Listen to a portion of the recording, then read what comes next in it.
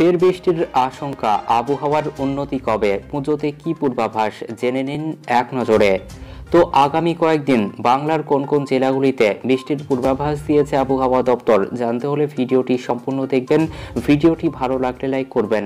আর এমনই প্রতিদিনের আবহাওয়ার লেটেস্ট ট্রেন্ডিং খবরগুলি সবার আগে দেখার জন্য চ্যানেলটি সাবস্ক্রাইব করে পাশের বেল আইকনটিতে প্রেস করে রাখবেন। তো চলুন এক নজরে দেখে নেওয়া যাক।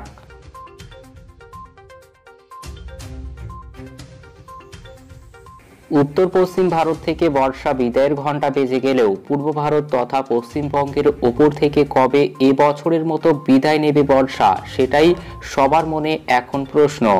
গতকাল বুধবার মহালয়ার দিন সকালের দিকে আকাশ পরিষ্কার থাকলেও বেলা পাড়ার সঙ্গে সঙ্গেই বৃষ্টি হয়েছে দক্ষিণবঙ্গের বেশ কিছু অংশে।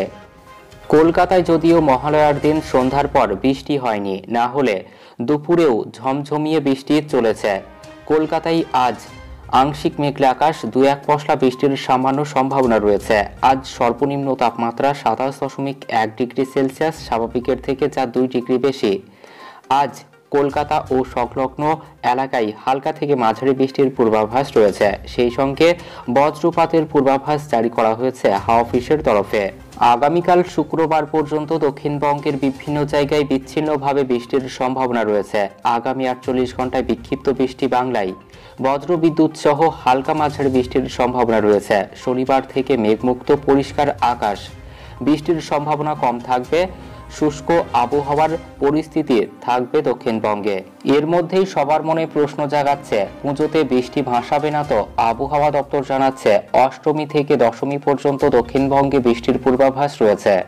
আলিপুর আবহাওয়া দপ্তর বলছে, পুজোর দিনগুলিতে কলকাতা, হাওড়া, হুগলি, উত্তর ও দক্ষিণ চব্বিশ পরগনা, পূর্ব ও পশ্চিম মেদিনীপুর এই জেলাগুলিতে হালকা থেকে মাঝারি বৃষ্টি হবে।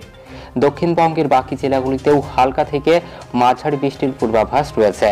নয় থেকে বারোই অক্টোবরের মধ্যে দক্ষিণবঙ্গের বিভিন্ন জেলার আবহাওয়া ভালো থাকারই সম্ভাবনা।